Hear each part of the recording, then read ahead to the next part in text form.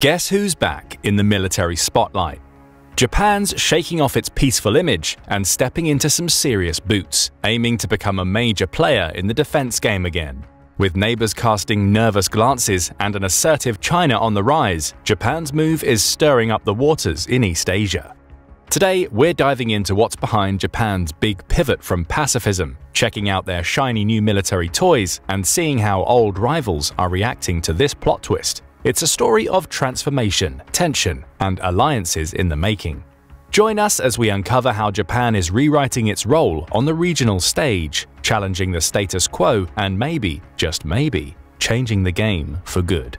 But first, let's delve into the intriguing history of Japan's rise to power setting the stage to peel back the layers of today's geopolitical shifts pushing Tokyo out of its strategic shell.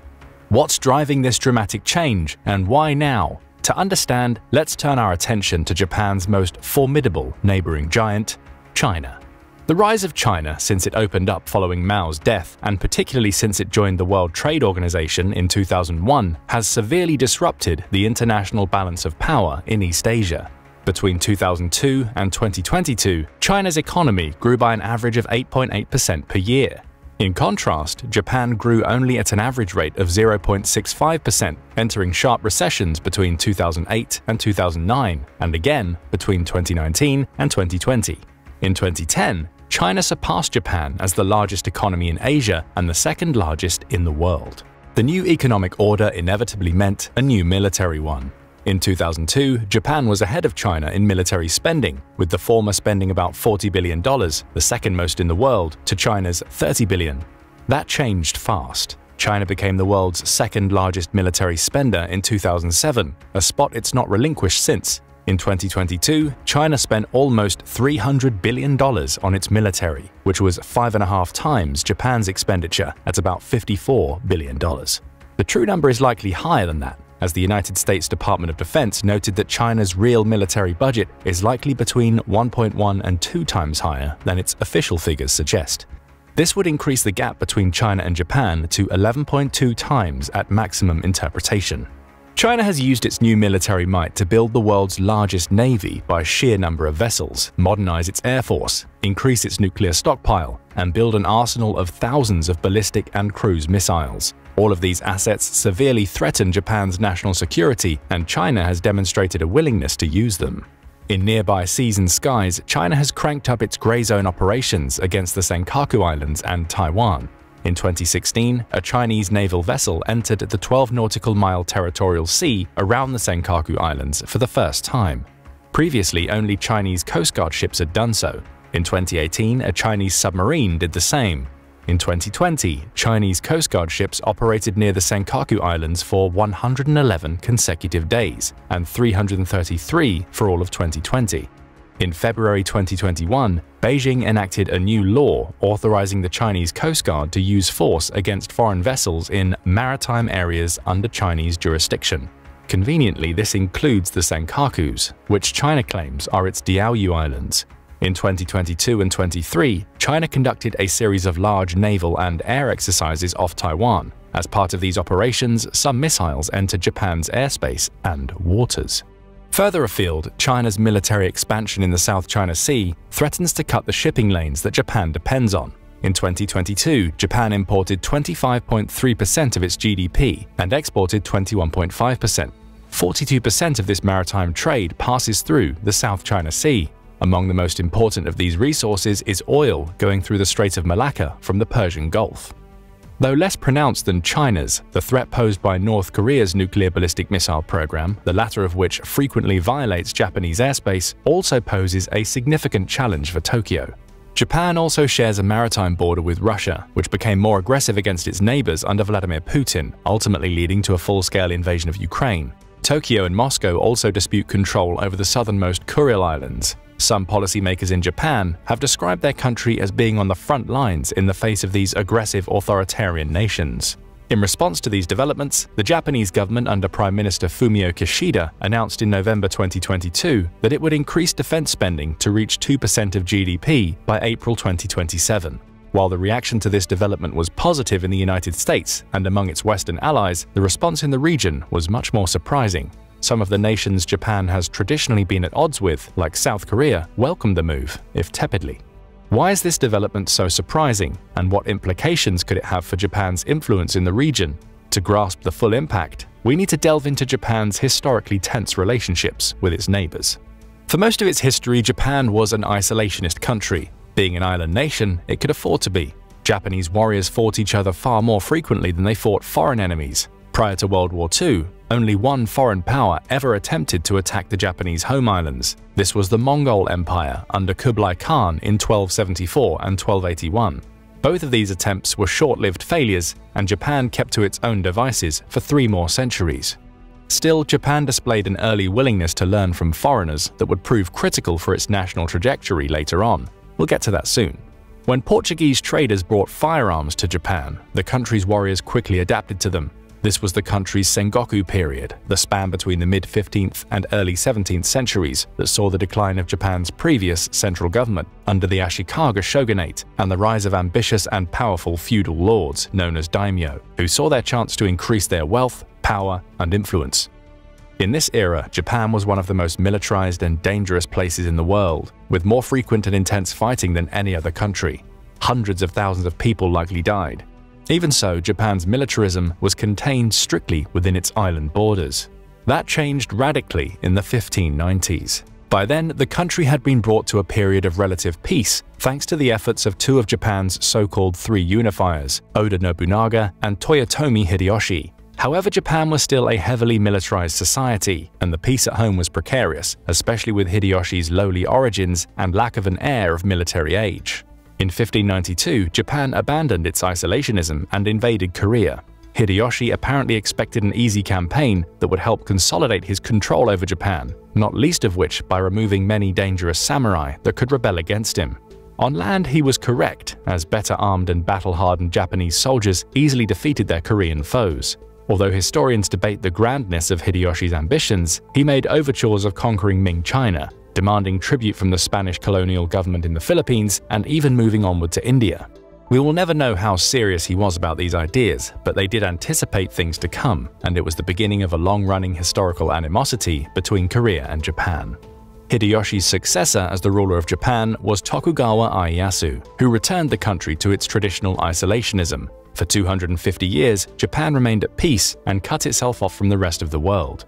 The only foreigners allowed to enter the country were Dutch traders at the port of Dejima near Nagasaki. It brought short-term benefits, but this policy nearly proved disastrous at a time when the power of the European empires was growing. In 1839, the First Opium War began in China. This marked the start of what the Chinese government considers today their country's century of humiliation. China was defeated, and subsequent defeats forced the Qing dynasty into unequal treaties with the Western powers.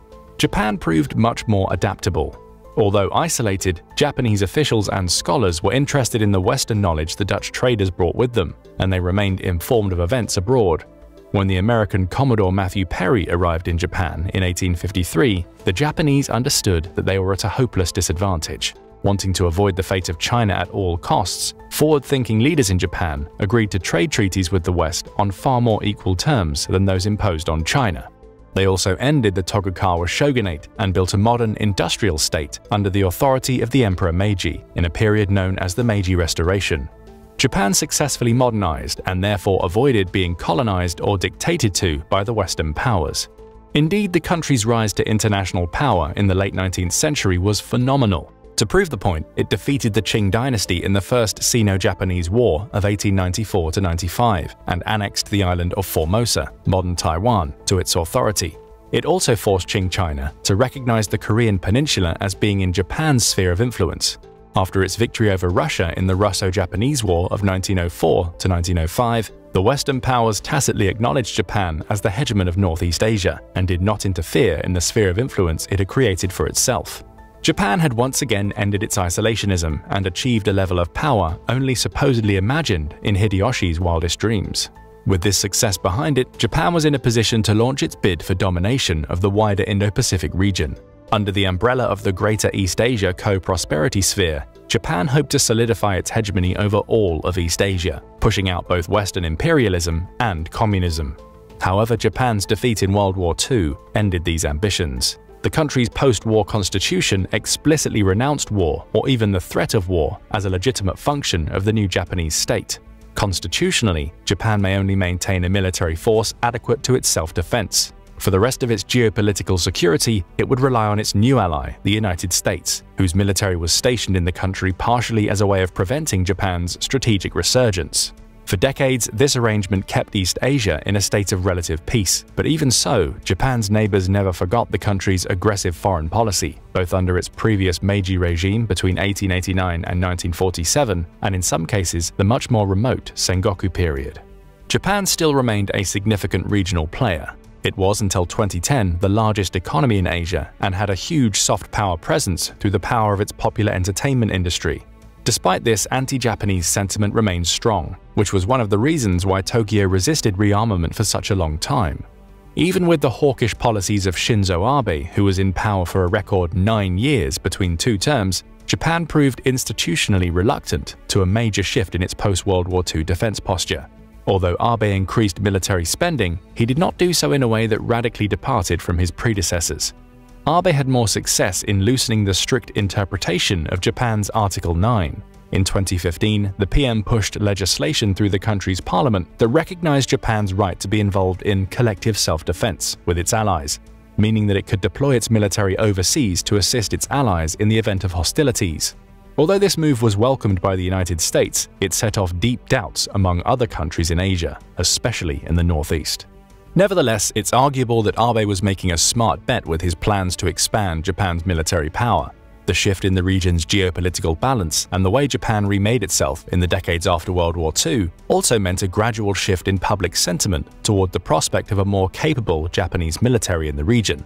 For example, in the late 1970s, Japan began its Fukuda doctrine of reaching out to the Southeast Asian nations by reiterating its pacifism and emphasizing a more equal relationship. This helped to improve relations with those countries until Japan was viewed positively. In 2015, both China and Japan were viewed favorably by a majority of the public in the region, according to a Pew Scientific survey of over 15,300 people. Over 80% of the public in Malaysia, Vietnam, and the Philippines viewed Japan favorably, while 71% of Indonesians did. Such views of Japan in the areas it formerly occupied reflects the effectiveness of the Fukuda Doctrine and Tokyo's soft power strategy. Still further north, in the area with the deepest historical experience with Japan, views were far different. Only 25% of South Koreans and 12% of Chinese viewed Japan favorably.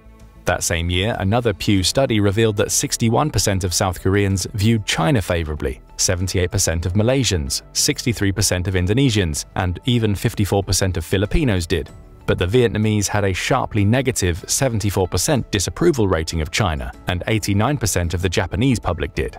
By 2023, when the results of China's more aggressive foreign policy had become more apparent, the situation changed sharply. In that year's Pew survey, 77% of South Koreans viewed China unfavorably. Approval in Indonesia also dropped dramatically, with a 49% favorable and 25% unfavorable rating.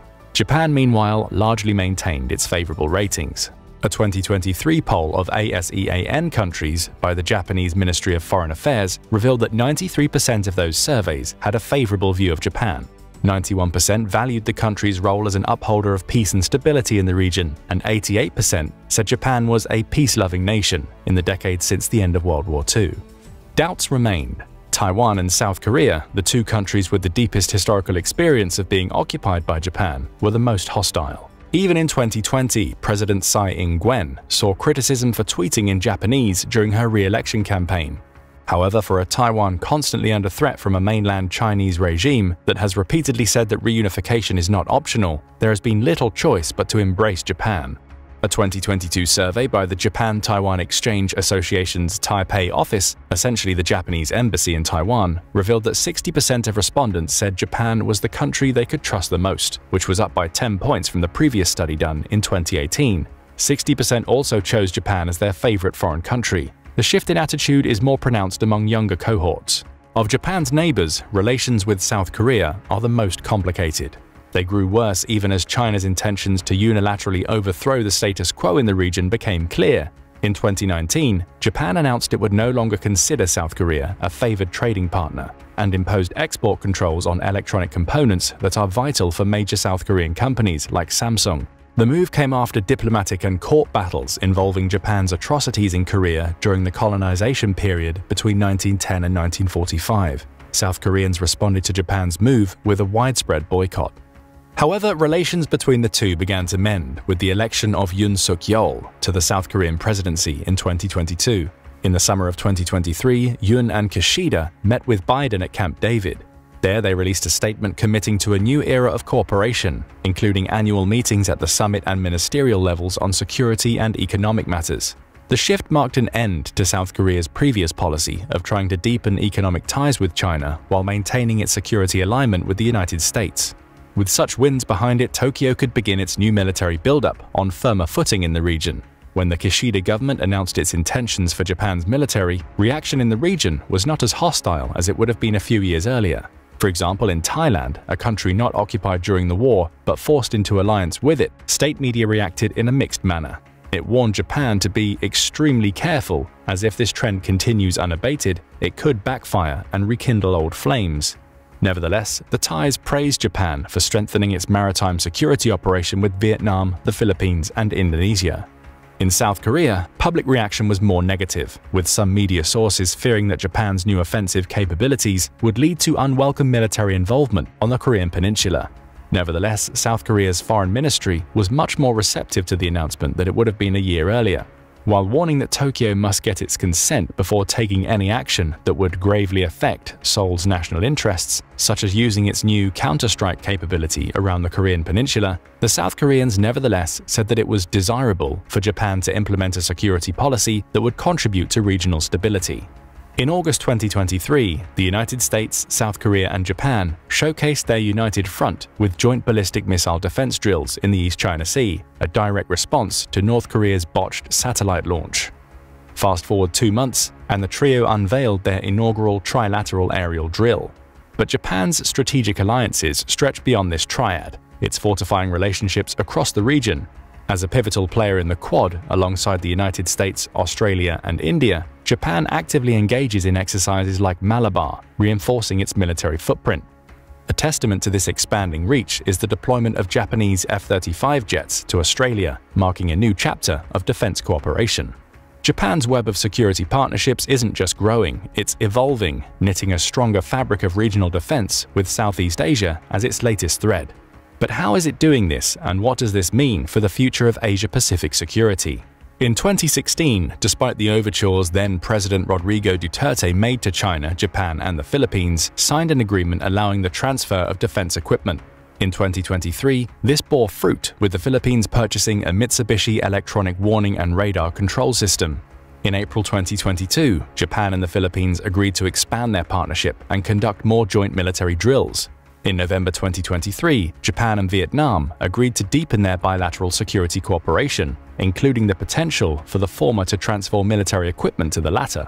The next month, Japan and Malaysia announced they would elevate their relationship to a comprehensive strategic partnership. This announcement included the signing of a new security deal worth $2.8 million to help Malaysia's maritime security. Equipment provisions included supplies and rescue boats, and according to Malaysian sources, monitoring and surveillance equipment.